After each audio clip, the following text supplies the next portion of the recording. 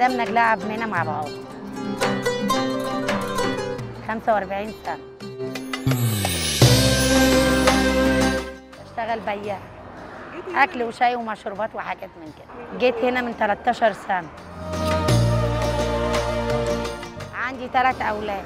مجوزة واحدة ومعايا اتنين بجهز فيهم سوا وست مطلقة وبجري على عيالي وبرضه وبأكلهم بالحلال وعلمتهم وربيتهم وجوزت وبكمل بقى بقيت مشواري.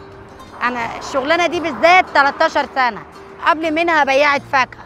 12 سنة كمان. يعني طول عمري ما قعدتش. مجوزة بقالي 30 سنة ما قعدتش إلا سنتين اتنين في البيت.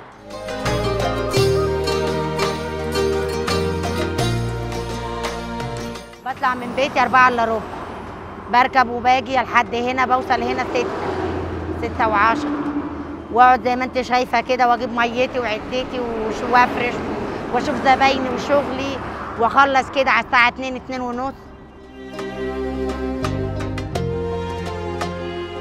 بس أنا لازم أقاوح مع الوقت اللي إحنا فيه. وقت غلا.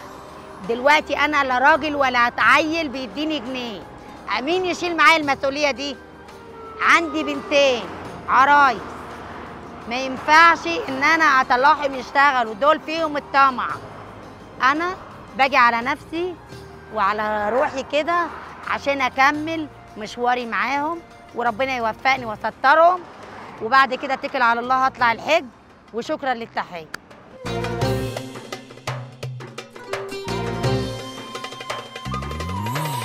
فأنا الصعوبات اللي بتواجهني أنا أكل منين؟ وأدفع إيجار واجهز بنات بحول وبدفع اقساط. وزي ما انت شايفة كده الحياة غالية على الراجل نفسه. أنا جمل يا بنتي أنا بصي في ناس قرفانة من القعدة دي وتقول لي أنت قاعدة إزاي؟ في الحر ده يا حاجة.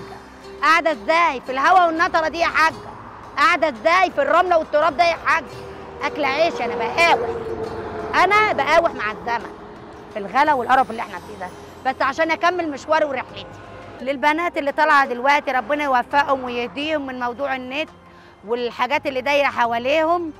آه يبصوا لأهلهم ولعيشه أهلهم ويكافحوا في الوقت ده عشان يتجوزوا ويتوفقوا في مرحلتهم اللي جاية ويعيشوا حياة كريمة. بجيب حاجاتي وأنا جاية شايلاها على دماغي من القليوبيه كل حاجة.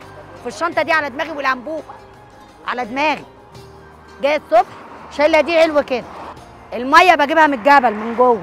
بجيب المية من الجبل بطلع الجبل جوه ده زي ما حضرتك شفتني كده أنا دي مسافه دي خطوتين.